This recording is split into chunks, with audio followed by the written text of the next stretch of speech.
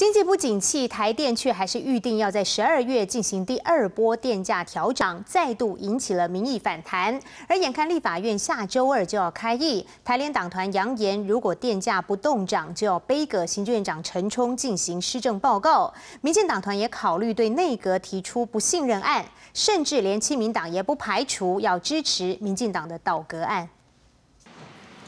台电将在十二月进行第二波电价调整，在经济不景气下，民意动涨声浪升高。立法院长王金明在十三号晚间出席行政院长陈冲宴请国民党立委时，当面提醒陈冲要好好处理电价案，否则将可能变成第二个美牛案。政府当然做全盘的考量，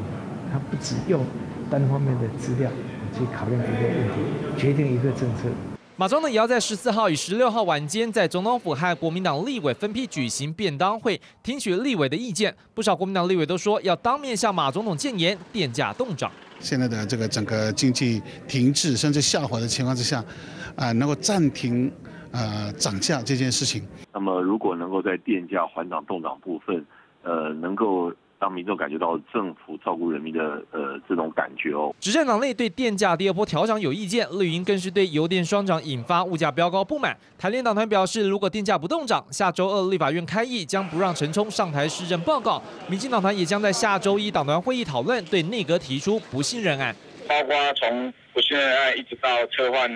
财经的内阁啊等等的。我想民进党团我们会在下周的党团会议里面。啊，提出这个讨论。亲民党团则表示，如果马政府无法处理好油电物价高涨以及失业率高升的问题，亲民党不排除支持民进党的倒戈案。电价问题不能解决，如果这个物价的问题也不能解决，然后青年失业率问题也不能解决，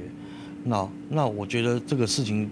这个内阁事实上就已经失能了。虽然现在距离十二月电价第二波调整还有将近三个月的时间，不过在野党以及不少执政党立委都希望马政府能尽早宣布电价动涨，让急升的物价缓一缓，减轻民众的经济压力。记者张雄、陈保罗特别报道。